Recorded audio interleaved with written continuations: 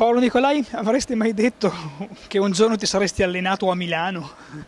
Onestamente no, però ci siamo, è anche un'ottima struttura, quindi stiamo, siamo felici di, di allenarci qui.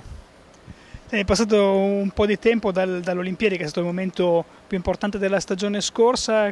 Come hai passato questi mesi e come hai rivissuto quei momenti esaltanti dell'Olimpiadi di Londra? Insomma, in questi mesi non è che mi sono dato molto da fare, sono stato fermo fino a, completamente fermo fino a novembre, poi fine novembre ho ripreso un po' di allenamenti con Daniele e, e dopo a gennaio abbiamo cominciato diciamo, la stagione federale. Ehm, stranamente, a differenza degli altri anni, ancora non si ha un programma definito di quello che sarà il World Tour, c'è un programma di massima che si conosce. Che stagione ti aspetti? Mm, quali sono gli obiettivi di questa che è la prima stagione di un quadriennio che normalmente la prima stagione regala qualche, qualche novità e qualche nuova cosa? Beh, diciamo che il regolamento è ancora sconosciuto, quindi stiamo aspettando.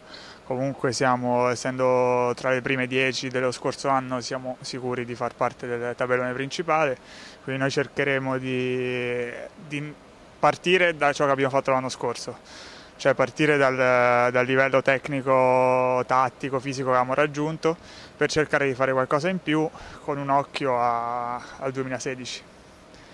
2016 è ancora un, un, po' lontano, le cose ca eh, cambiano molto con il rinnovarsi del quadriennio olimpico, molte delle coppie più forti eh, si sono, si sono scoppiate, i campioni olimpici tedeschi, gli ex campioni olimpici del, di, di, Pechino americani, le coppie, le coppie cambiano, gli equilibri cambieranno, voi siete molto giovani, come pensi che potrete inserirvi in questi equilibri? Beh, io credo che noi dobbiamo pensare a quello che facciamo noi. Cioè, abbiamo dato dimostrazione lo scorso anno che se riusciamo a tenere un certo livello noi siamo una coppia di prima fascia e noi dobbiamo cercare di non scendere sotto quel livello come a volte l'anno scorso ci è capitato. Daniele Lupo, in tutti questi mesi dall'Olimpiade che cosa, hai, che cosa hai pensato e soprattutto che cosa hai fatto fuori dal campo, fuori dalla sabbia? Ho pensato, mi sono riposato diciamo, e mentre in campo comunque sono restato ad allenarmi, a giocare, comunque non, non sono mai uscito dal campo.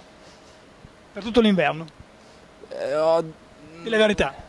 Diciamo, sono stato fermo pochissimo per la spalla perché comunque dovevo stare fermo e poi comunque ho riniziato piano piano a restare in campo, a giocare con gli amici, fare un po' di pesi sei arrivato a Milano, cosa che probabilmente non avresti detto, che un giorno ti saresti allenato a Milano. Mai, mai. Però stiamo bene, cioè io mi trovo bene, la struttura è ottima, credo che è l'ideale per fare una preparazione atletica. Dimmi che cosa ti aspetti dalla stagione che, che, sta per cominciare, che parte a marzo e quali sono gli obiettivi, di che cosa saresti contento?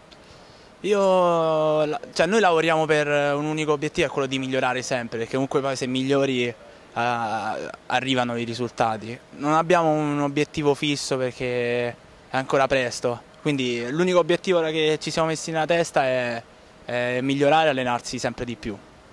Migliorare, voi avete fatto una finale, c'è un solo modo per migliorare. Allenarsi, esatto. No, vince, esatto, vincere, sì. Esatto. Vedremo quest'anno.